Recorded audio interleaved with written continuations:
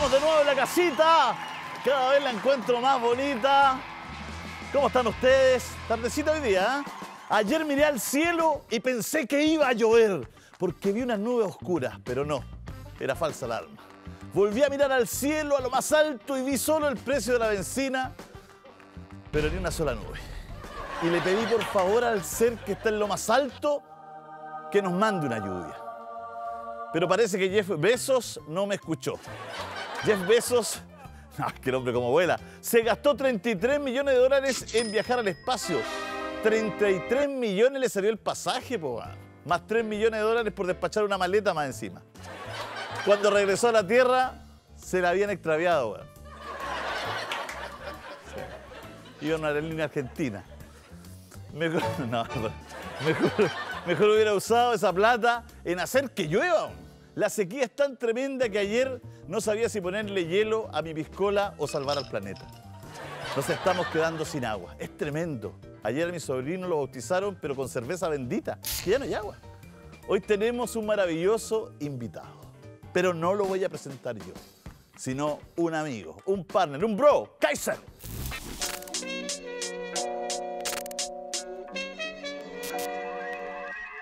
Hoy les presento una persona con gran humor que en pandemia se fue al campo y además se hizo pintor. Sabemos que mucha gente a él lo admira por su reconocido personaje que se llama Elvira. Él con la pantalla así tiene mucha química. Conocido, director de una película. Además es un hombre que demuestra madurez. Actual participante del discípulo del chef. Una persona que tiene carisma y talento. Pero con respeto les presento al gran Felipe Izquierdo. ¡Uh! ¡Qué grande! No podía ser de otra forma. Vete la vuelta larga, weón. No podía ser de otra forma. ¿Cómo estás? ¿Cuántos años haciendo ley para llegar a... Qué increíble. Televisión Nacional. ¿Cuántos años hay en BTR? weón? 20, 20 años. Como 12. 12 años, güey. No, yo no conozco a nadie, ni a Francisco.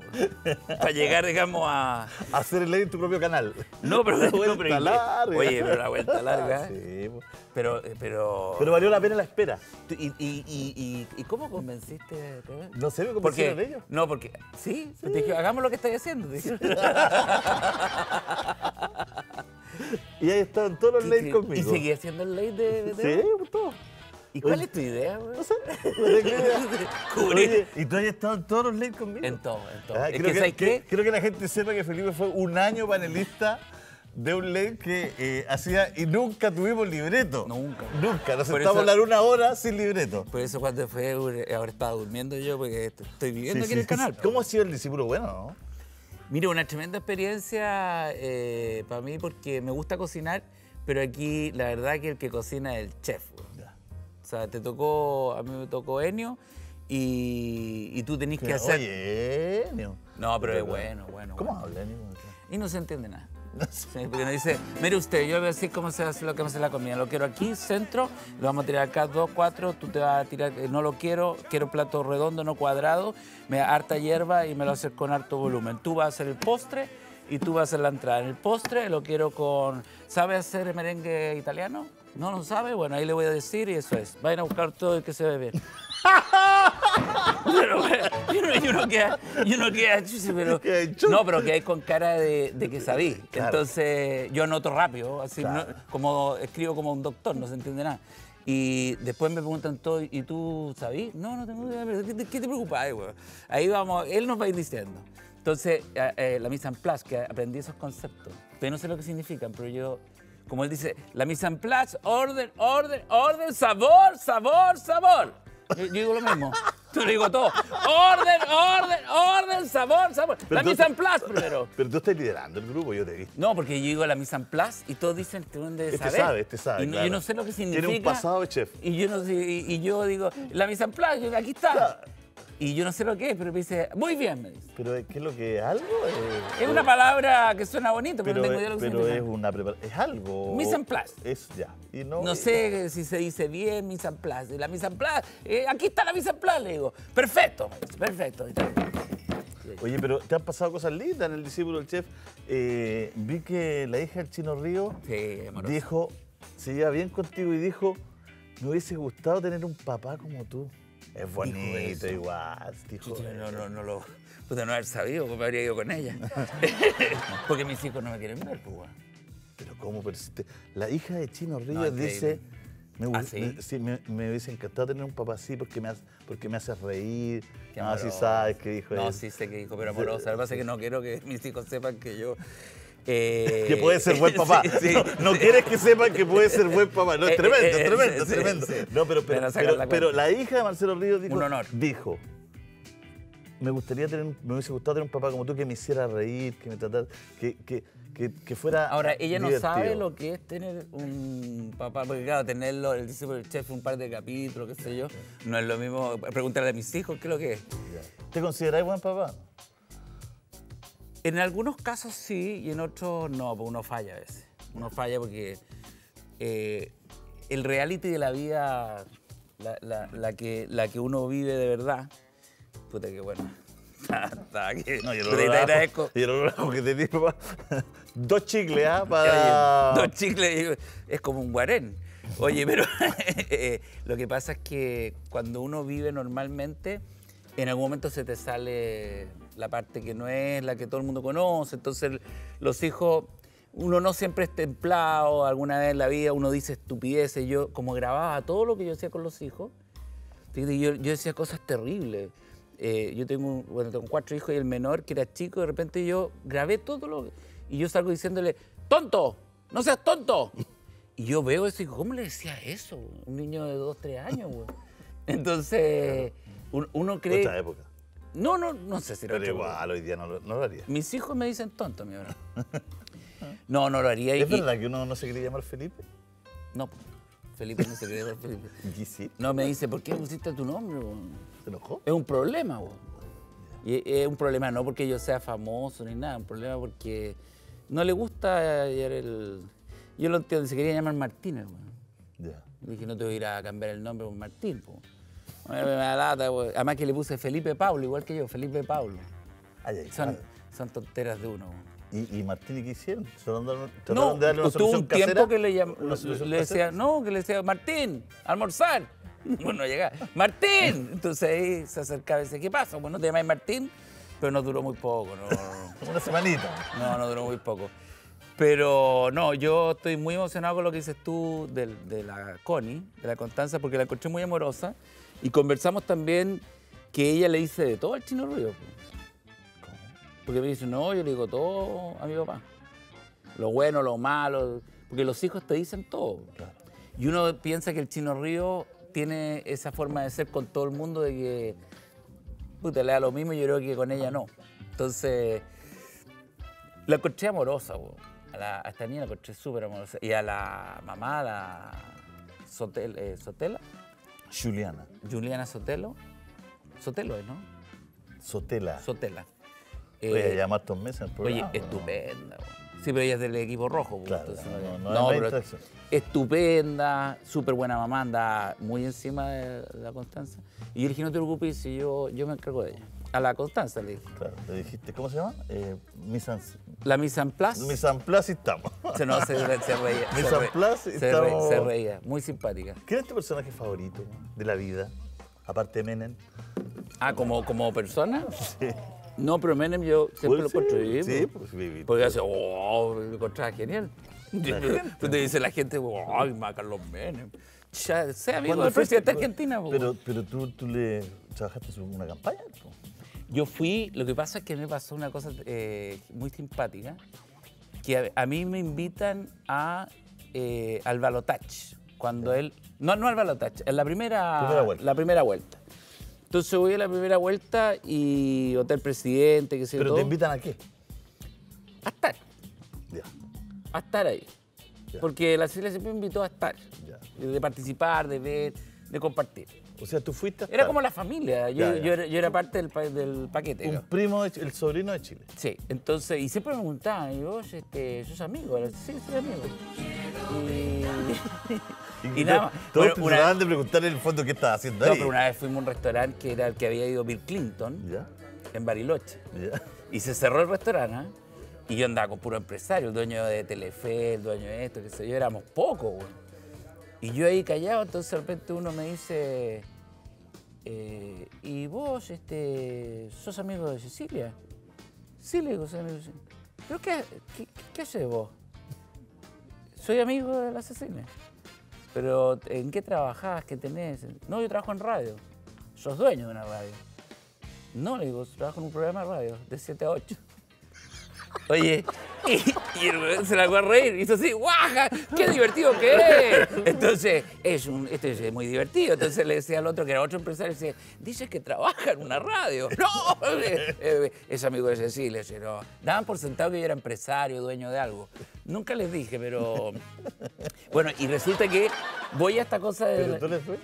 Sí, soy dueño, con suerte de mí mismo. Bueno, y cuando voy a Argentina, eh, voy a esta cosa de las elecciones y pierde. O sea, no pierde, pasa al balotaje. Sí, pasa la segunda vuelta. Con, con Kirchner creo que le toca. Y yo estaba en una, en, eh, en una mesa, una comida, después de toda esta noticia que él no había, no había ganado en primera... eh, Él creía que ganaba en primera vuelta. Claro, primera vuelta. Entonces me toca un señor al frente, grande, y estaban todos con cara de, de, de- de velorio. Velorio, claro. Sí, pues estaba allá Carlos Menem y todo, y me toca este señor y me dice, vos sos amigo de Cecilia, porque todo era la misma frase. Sí, sí, sí. Soy amigo de Cecilia. ¿Y qué opinas de todo esto? Me dice. ¿Pero por qué a ti? Porque eh, ellos están... Estaban mal, estaban- Eh, no, y están con la incógnita de que por qué yo estaba ahí, algo tenía que tener. Entonces me dice... Está, todo, todo mal, todo... Todo, y me pregunta a mí. Claro. Entonces no me dice, ¿y vos qué haces? Me dice, me dice, no, yo trabajo en programa de radio.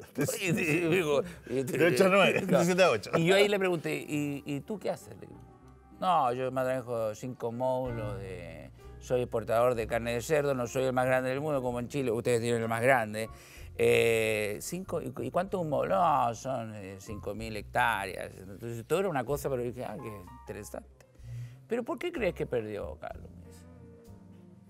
Dije, bueno, no se me ocurrió qué decirle, entonces le dije, yo creo que por la gente que lo rodea. ¡Oh! Pero qué sinceridad. ¡Qué sinceridad! Entonces le digo, bueno, si lo que pasa... Y no pasó más, fue eso. Me dijo, ah, me hizo sí, sí. Y yo me volví a Chile, llego a la radio donde yo trabajaba de 7 a 8, con Marcelo Comparini, y teléfono. La Cecilia me dice, hola Felipe, ¿cómo, cómo llegaste? Bien, aquí estoy, qué sé yo. ¿usted En la cómo está?". radio. Bien, en la radio. Ah, me dice.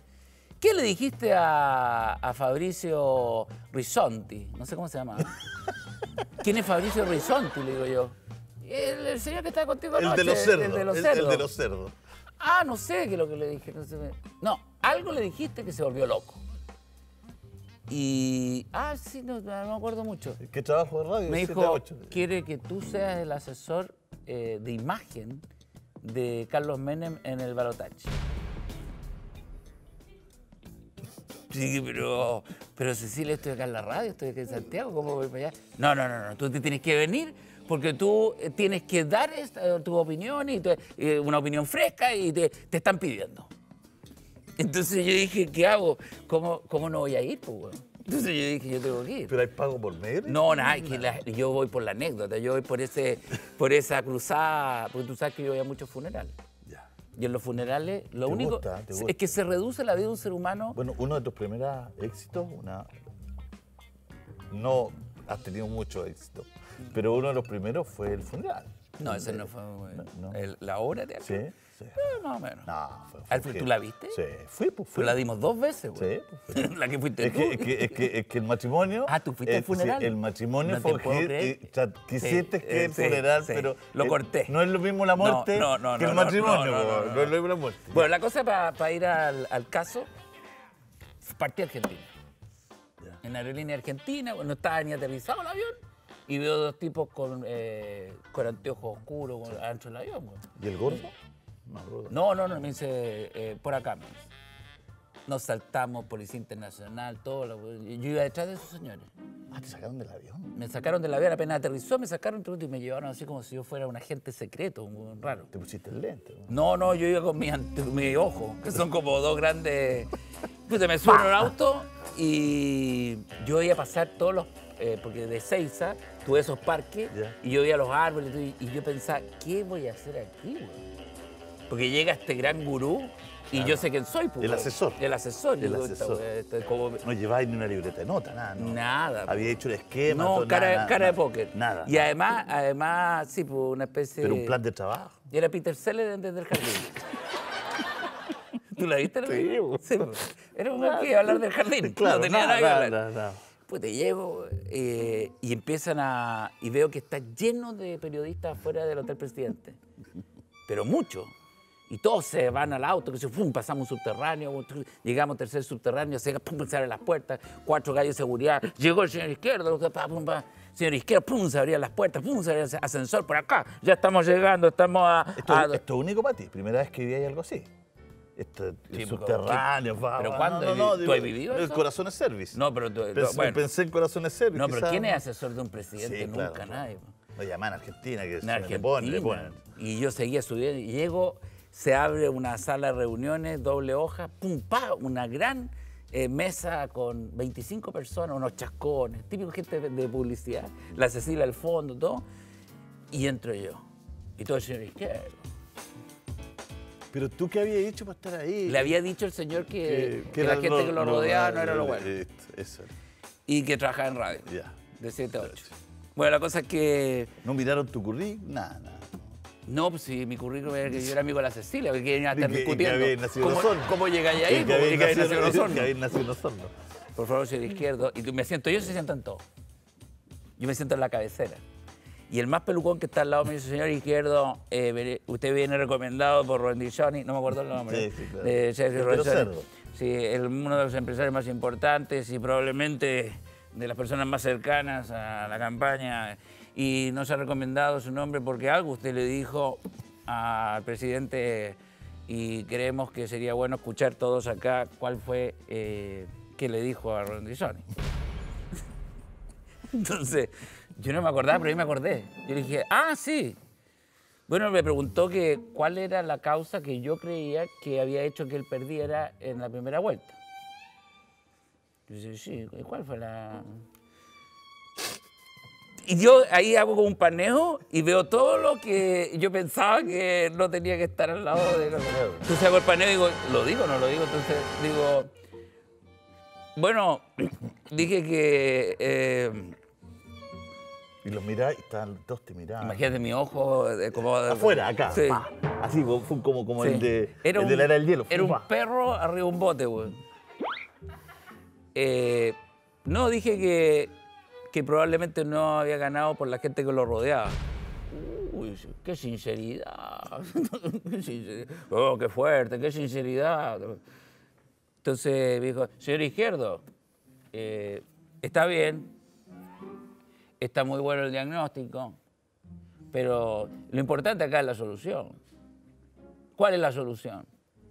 Entonces digo, bueno, la, y ahí empecé como a, uno empieza como la, la, bueno, la solución es eh, darle valor.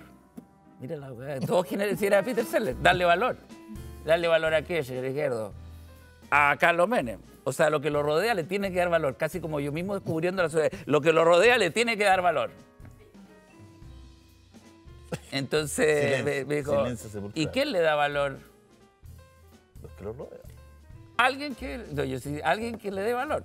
Entonces le digo, mira, entonces ahí puse un ejemplo porque como vi que ellos no me entendían y yo tampoco, entonces dije, mire, eh, supongamos en economía, porque ya ahí o te la jugáis o ahí te van a sacar, digamos. Eh, supongamos en economía. Si alguien que es respetado en economía por su palabra, por su, eh, pensamiento, por su trayectoria, avalara el programa económico de Carlos Menem, es evidente que le va a dar valor. Perfecto, ¿no? Bien. Sí, está bueno.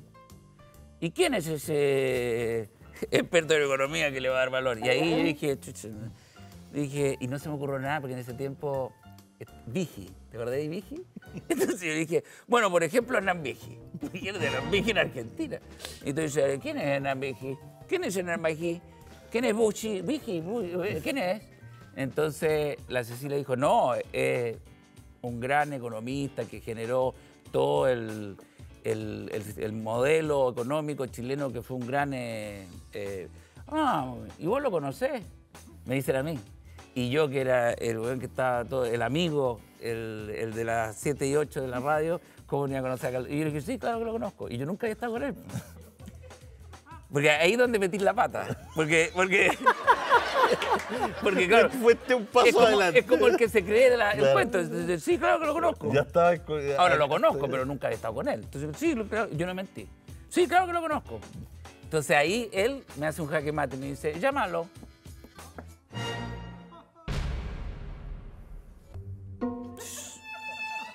Tú no habías ni comido. Tú No, que el comer, avión, no. Le dije, sí, claro, yo lo llamo. Y agarro mi celular ahí, en Buenos Aires, y hago así. Y yo me, voy para atrás y digo, ¿cómo crees que lo ubico? Entonces dije, voy a llamar a Entel. Ya, mentira. Te lo prometo. Es mentira. ¿Por qué? Porque, porque, porque la- los vi, eh, eh, porque, oye, escúchame, porque Entel, pero weón, me está entrevistando, está No, de mí. Oye, porque. Entel, Entel, Y toda la reunión esperando. sí, pero yo no le estaba contando lo que te estoy contando a ti, esto es una sí, primicia. sí. Entonces yo le digo, porque yo digo, el hermano de, de Vigi, yo sabía que trabajaba en Entel, pero yo no conocía al hermano de Vigi. Tampoco.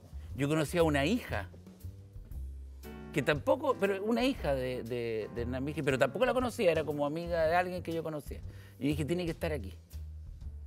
Entonces hago así y llamo al call center, o sea, al, ¿cómo se llama? Al- A la central, a la a- a la recepción. mesa de- central, a la porque mesa. ahí como que capté Claro. y, y dije, momento, ¿aló? Y me contesta, sí, buenos días, sí, eh, eh, buenos días, eh, Entel. Eso me contesté y todo así está hablando con... eh, hola, ¿estará la, la hija? que se llama? ¿Estará la Claudia? Claudia Vigi, por ejemplo. Dice, sí, ¿de parte de quién? De Felipe Izquierdo. Sí, yo espero. Y la música y la cuestión.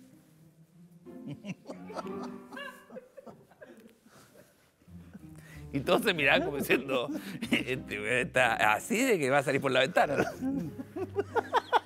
Y me contesta la hija, que no era Vigi, que no era Vigi. Entonces le digo, aló, Claudia. Sí, ¿quién es? Me dice. "Eh, Felipe Izquierdo acá. "¿Qui- ¿Quién es? Me dice. ¿Quién, quién? ¿Qué Felipe? Sí, ¿qué Felipe? Izquierdo, izquierdo, izquierdo. Estoy casado con, estoy casado con, la, con mi señora, con la Paula. Ah, me dice, hola. ¿Está tu papá? no, me dice, si él no trabaja acá, me dice. ¿Qué querés con mi papá? Le dije que lo necesito ubicar por una cosa urgente. Entonces me dice, ¿y de qué se No, urgente, dile que me llame. Entonces, de urgente dile que me llame. A este teléfono, pero es urgente. ¿Pero qué pasó con mi papá? No, dile que me llame. Chao. Ya, lo tengo. Me va a llamar. Y todos mirando como diciendo. Y estoy así y me llama. Digo, es Hernán. Es Hernán. ¡Aló! Hernán. ¿Quién habla? Me dice. Felipe Izquierdo. ¿Quién es? Entonces, yo la única referencia que tenía con él es que mi señora una vez haciendo dedo, mi señora, lo lle- la llevaron al sur. tu señora mi haciendo señora. dedo. Sí, que la llevaron al sur y se fue con... Y ella me contó, ¿sabes qué me llevó? Me llevó Hernán Vigi. Entonces yo le dije, yo estoy casado con la Paula. ¿Qué Paula? Me dice. Es que estoy en Buenos Aires. Y eh, mira, tú fuiste a Pucón con ella, la llevaste. Ya estaban escuchando un poco, entonces, ¡estaba Pucón! ¡Aló, Hernán, no me corté! Oye. Y ahí captó y dijo, ah, Felipe Izquierdo, sí, ya, ya entendí, ya. Tú estás casado con la Paula, sí. ¿Y qué pasa? Me dice. Lo que pasa es que Carlos Menem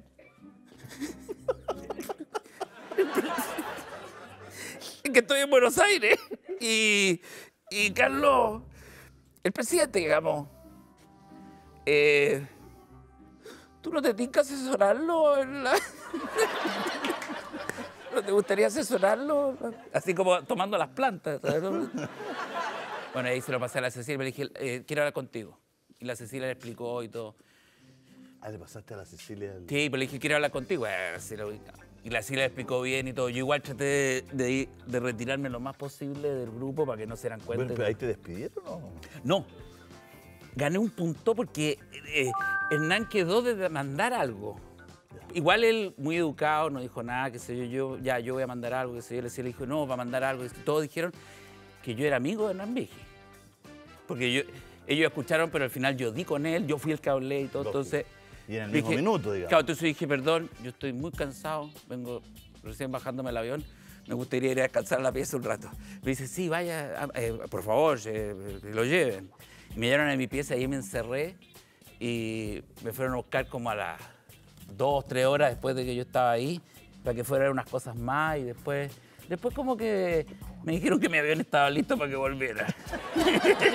Mañana está tu avión. No, pero yo ahí hice una idea y todo, pero Pero tú estuviste ahí un rato, sí. sí. ¿Cuánto estuviste en.? No, pero me volví.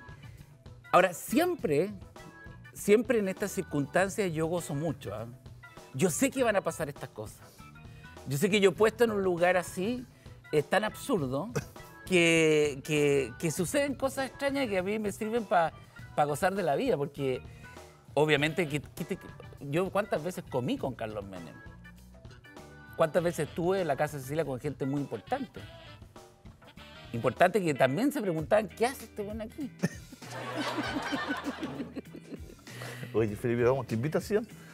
¿Cómo ha sido la pandemia para ti? ¿Cómo te ha dado la pandemia? Eh, supe que te fuiste. ah, supe, que te fuiste al, Al campo. al campo, ¿no? Sí. Esto me recuerda a las entrevistas que hace el Mega a los candidatos presidenciales, que lo pasaba de un set a otro y era obligación. Sí. Espérate, no me contestes, ven para acá. ¿Y por dónde? y andaban correteándose por el... Yo lo pasé... eh, ¿Por qué te fuiste? ¿Te gusta estar con tu mujer o no? Lo que pasa es que... Disculpa la pregunta esa. No, la pregunta... Quizá la voy, a la voy a formular. No, la pregunta es buena. No, pero la puedo formular distinto, ¿no? Que me No, sentí no, mal. no, no. De- eh, ustedes se dan sus tiempos. No, lo que pasa es que, mira, cuando pasó todo esto y se veía que, que- que se podía pasar algo así, yo lo intuí. Yo La, dije, la cuarentena. no, la, la pandemia. güey. Claro, pero la cuarentena. La pandemia estaba anunciada, pero no estaba oficialmente, no había medidas, no, no, no estaba, no había nada. Entonces, yo estaba incluso haciendo stand-up en el Mori. Y entonces yo dije, mira, le dije a mi señora, mira, no nos vamos a separar. Entonces me quedó mirando, ¿qué te pasa? Porque yo estaba reflexionando. Entonces me dijo, yo, no, no, yo no, no nos vamos a separar. Entonces me dice, ¿qué pasa? Nos vamos a dividir, que no es lo mismo. Yo me voy a ir al campo. Entonces me dice, ¿cómo te vas a ir al campo? Me voy a ir al campo y me voy a llevar a, a mi hijo, que es Martín, que quiere cambiar el nombre, y el otro que es más chico, pero a Martín me lo llevo porque Martín va a contagiar a toda la población y puede matar a alguien de nuestra familia, porque es seco para la fiesta, para salir. Entonces yo me lo llevo al campo y yo me vengo a actuar los fines de semana. Y ella, que es muy inteligente, dijo, muy buena idea. Porque en el fondo no me quería ver ella y no quería... O sea, es que la convivencia de la pandemia, si alguien proyecta, porque cuando yo le dije esto, ella- yo creo que ella proyectó y dije, yo con este, bueno, no quiero estar todo seis meses encerrado en una Cuarentena No, total. no, ahí perdemos toda la guerra. Entonces yo me fui al campo, pero jamás me imaginé que lo que yo había dado como un presagio, o como algo así como muy, se cumpliera a la pata. O sea, a los dos días se... Primer caso. No, no, no, ni siquiera dijeron, eh, claro, dijeron eso, pero dijeron medidas tomadas inmediatamente, nadie puede salir, nadie puede, y empezaron todos los... Y yo me pilló allá, entonces yo dije, de aquí no me muevo. Y yo tomé, saqué residencia en el campo, mis hijos también, el que no quería estar, que era eh, este gallo que me decía que yo había inventado esta weá. Ah, que inventaron la pandemia. No, pues ma- Felipe, mi hijo, pensó, dijo, eh, tú inventaste esta weá, ¿cómo la haber inventado? weón?" Digo, Estábamos viendo a Donald Trump en la, en la, en la televisión Orson Welles. y yo le decía, pero mira si él está hablando, no, tú eres capaz de haber contratado a este weón. Estáis loco, ¿cómo va a contratar a Donald Trump para que hable la pandemia, weón? No, todo esto es un invento tuyo, weón, para que yo me venga para acá, weón, porque tú siempre andáis con este tema que no quieres que salga, weón. Truman Show. Todos mis amigos están saliendo y yo, sí, pues, weón. Truman Show. Y lo tuve allá un año. Un año. Estuvimos encerrados un año. Y después yo empecé a venir. Y ahí te pusiste a pintar, ¿o no? Ahí me puse a pintar. Porque una vez, eh, no, no, no quiero hacer, eh, tenemos una relación eh, a un pelito de la amistad con, con, con Felipe y todo, A un cromosoma. a un cromosoma y un día a las 2 de la mañana, una 45. Ah, sí, te digo, sí, sí. De repente, pa, pa, pa. Pa, pa, pa. Pa, pa, pa. Y me asusto, digo, el teléfono, pa, pa, pa, pa, pa.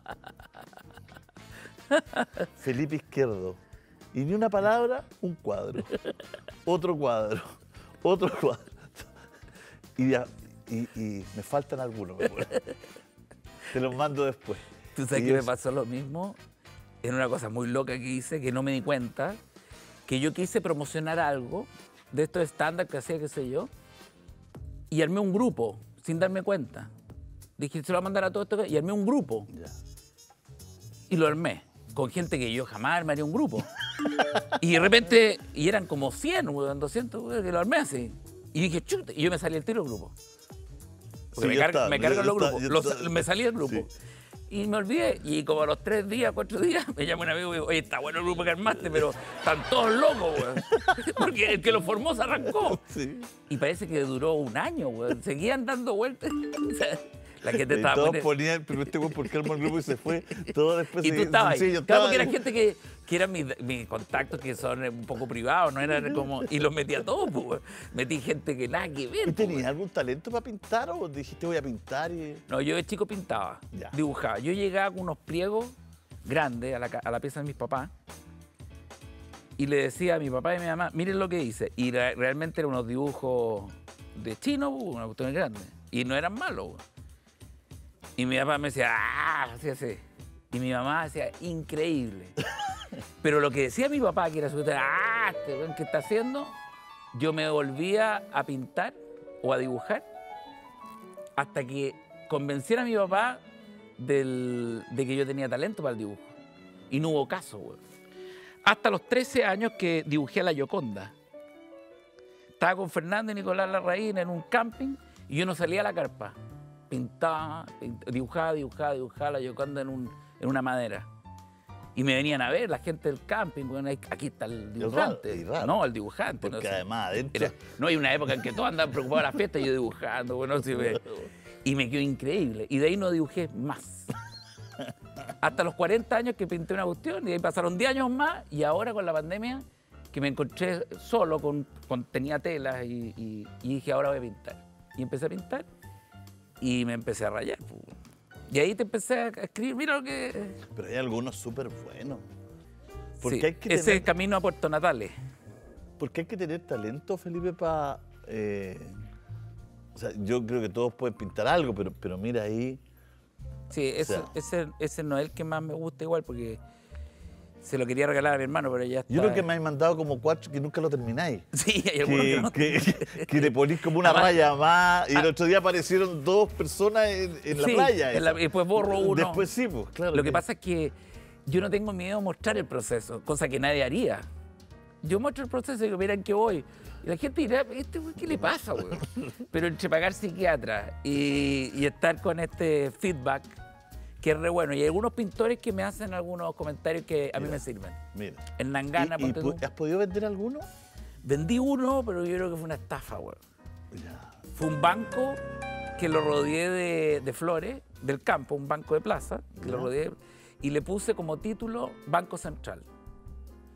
Pero un banco que estaba en el centro con las flores y no estaba ni terminado, estaba fresco, en un papel, güey. Y un gallo me empezó a llamar, te lo compro, te lo compro, te lo- no, si no vendo, no vendo, te lo compro, no, si no vendo, te lo compro. Justo vine a Santiago y me insistió, te lo compro, te lo compro. Le dije, bueno, ¿qué te va a cobrar por esto? güey? Le dije, te cobraría tanto. Ya, pero es que yo me voy mañana, yo lo voy a buscar ahora. Y lo fue a buscar, güey. Y yo lo bajé, Pero era una gualaila, un, un- un pa- entusiasmado. un papel así como una cartulina. Y se lo pagué, esto está fresco, güey. Porque estaba con el óleo. Me dijo, no, me lo llevo igual. Y me dio un abrazo con una foto y se lo llevó. ¿Y Entonces lo único, lo único vendido. Y me pagó, güey. ¿Y con eso compré más pintura. ¿Y nos puedes vender uno o regalar uno para este set? Eh, el que tú quieras, ¿no? Para, para tenerlo. Me más de alguna vez va a venir de nuevo. Sí, bueno. Mira, Cuando se nos caiga un invitado, que sean tontos, no, pero con respeto. No, no, no, está ahí acá en el discípulo, acá al lado. Se nos pero mira. ¿cómo no vino Nicolás Larraín? Ya, llamen a Felipe Izquierdo. No, no, no, no, no. no. Con pero si- respeto, ¿ah? Pero si vino Nicolás, ¿o ¿no? Sí vino. Bueno, eh, Dijo algunas cositas. No sé, ya me habló el periodista. Oye, pero. ¿Pero no. no- nos regaláis uno nos vendimos? Sí, nos vendimos? sí, no, yo en general no tengo ningún problema. ¿Sí? Llegamos a un acuerdo económico. ¿Dónde lo querís? No, tú dime, pues, tú dime, pongámoslo acá. pongámoslo- Pero esa cuestión, ¿de dónde la sacaste? Esta de acá, esta es muy buena, pues la pinté yo. Mm. También tuve un año en el campo. No, pero ¿sabes qué me he dado cuenta que. ¿No te gustó el set? ¿Te vino No, sí me gusta el set porque es bien. Eh, eh, parece departamento. Sí, pues, viste. Es amplio. Ya, pues sí está bueno. ¿Y tú estás soltero? Ah, ya, pero todos me gustan lo mismo. A mí me gusta eh, verte activo. Siento que, que te- se te está pasando la mano, pero, pero me gusta verte activo porque siento que hay una naturalidad en tu manera de, de hacer las cosas que, que le hace bien a la televisión. Y porque además, no es que no seas bonito, pero me parece que, que, bueno que, que se imponga un poco a la gente como nosotros. Normal, que-. Los normales.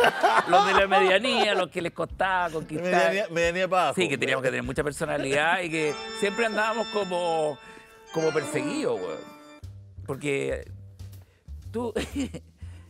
Porque a ti la conquista te costó, ¿no? No, nunca. Nunca te costó. Nunca me costó. Pero tenía ahí. No sé, es una cosa natural. sí, ah. Me fluía, sí. ¿Y cuál tú crees que es la clave para la conquista? No te lo digo yo, que pues yo estoy. La alegría, La alegría, ¿eh? hacer reír a las personas. Así. No solamente conquistar mujeres, conquistar gente, seducir a personas, el humor. Yo creo que el humor es un hombre que hace reír a una mujer, no, esa mujer no lo olvida jamás. Puta, mi señora no opina lo mismo, pero bueno. Oye, una vez, me, una vez me dijiste en un late que el sexo estaba sobrevalorado. Totalmente. ¿Ese día andáis, andáis malo o todavía lo pensáis? No, yo creo que está sobrevalorado. ¿Pero por no es para justificarme, pero está sobrevalorado. ¿Por qué? está- Porque yo creo que la gente fanfarronea mucho con el tema de, de- primero la frecuencia, que es una estupidez. Porque pareciera que la frecuencia te, te hace al, al campeón. Claro. Y la frecuencia es lo único que habla de, un- de una persona que está con mucha pega. lo segundo eh, es que yo creo que, que, eh, en, Pero mi, para, ca- tú- en mi tú- caso, Pero tú en ese tiempo me decías, ya, yo creo hace 60, 80 años atrás, 200 años atrás.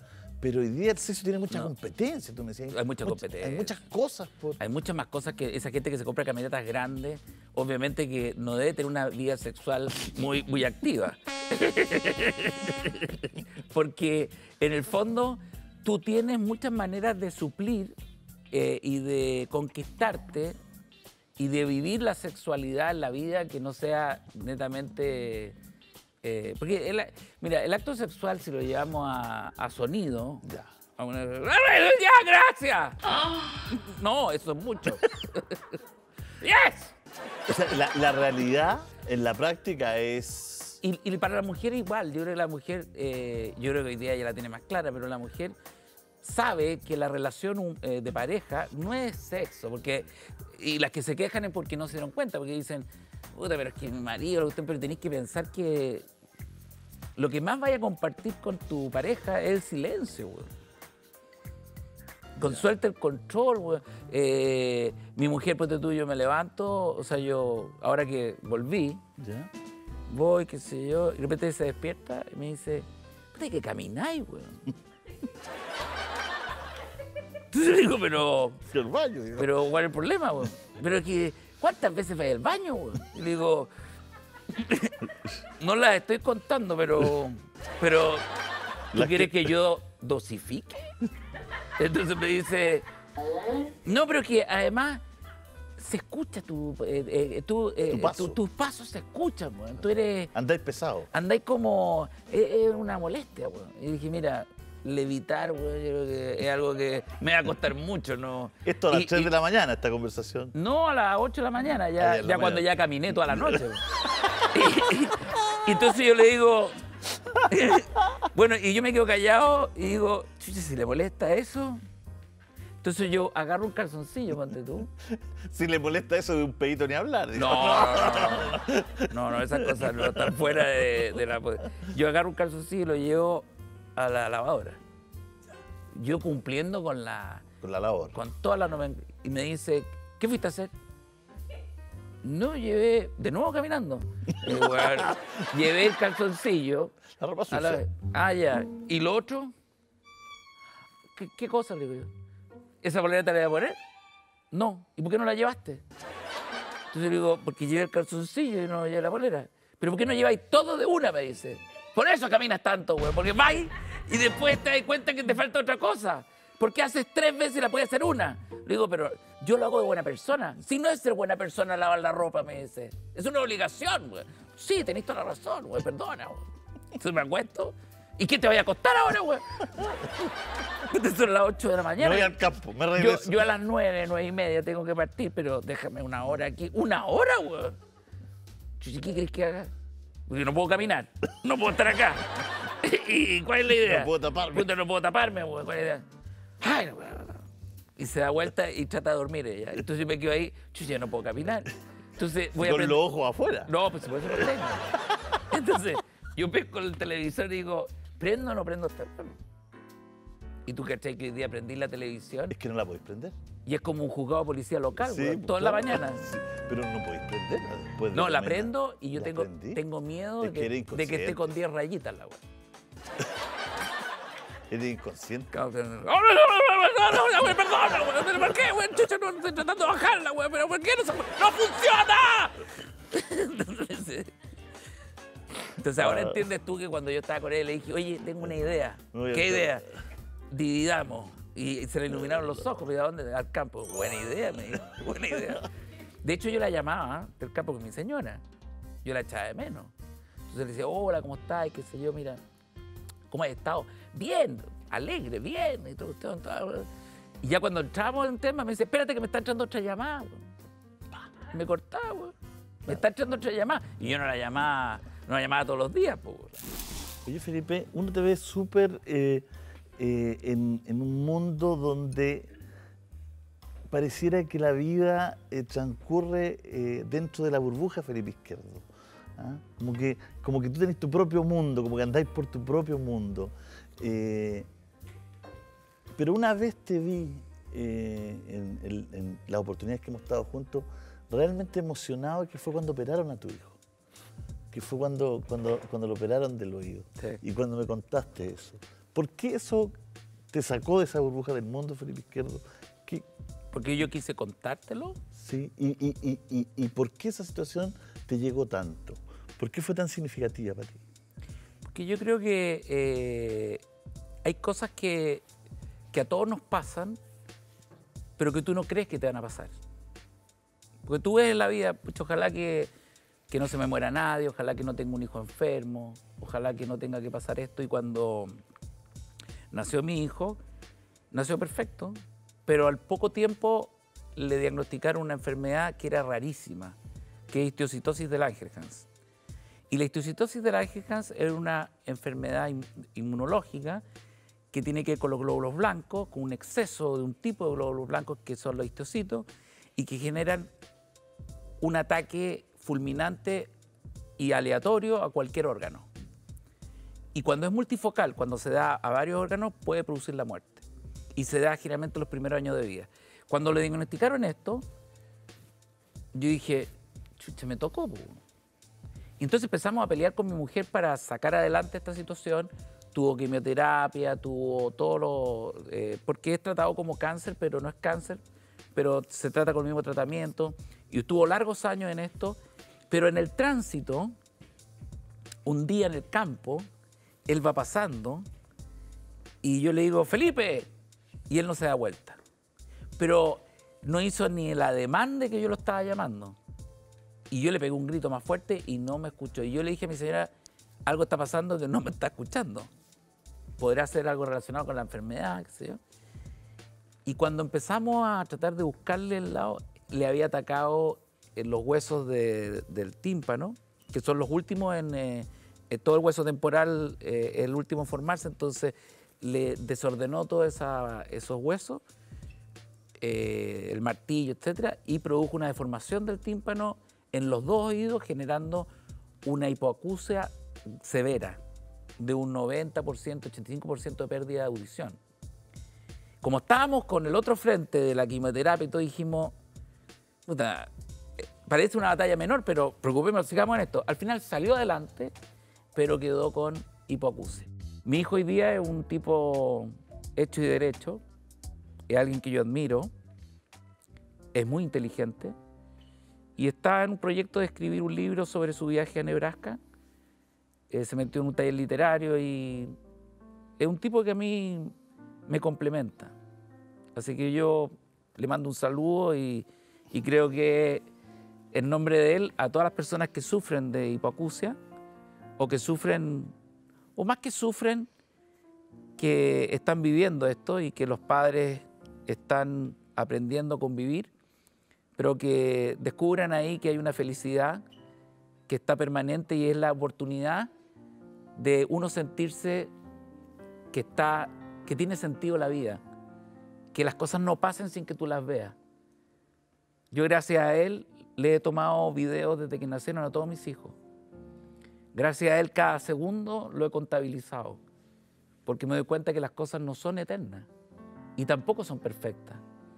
Mírate tú, mírame yo.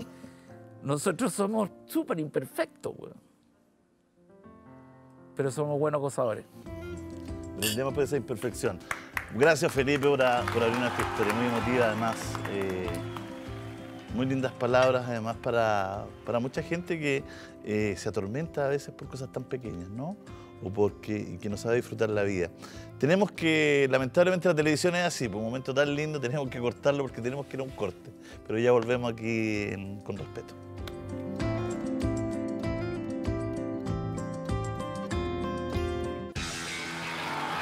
Ya estamos de vuelta. Eh, uno, a veces piensa y dice, eh, Felipe, eh, tantos años que estás en la televisión, cuántas entrevistas y, yo lo paso bien contigo, hemos estado juntos en tantos programas y lo que más me gusta, hicimos un año de conversa juntos. Y eran todas improvisadas, pero absolutamente. Pero lo que más me gusta es conversar contigo las anécdotas, las historias. Y uno se pregunta cuando te invita al programa de nuevo, dice, ¿qué vamos a conocer de nuevo de Felipe o, de alguien que tantas veces hemos entrevistado, que lleva tantos años en la tele, que lleva tantos años en los medios y siempre nos sorprende, ¿ah? Conoce un poquito más de las personas. Eh, eh, y eso es muy notable. Te agradezco esta noche. Yo te agradezco a ti que me inviten. Felipe Izquierdo, pero con respeto, nos vamos. Muchas gracias por la sintonía, por el cariño, porque quedarse hasta tan tarde con nosotros, por bancarnos. Chau, chau, chau.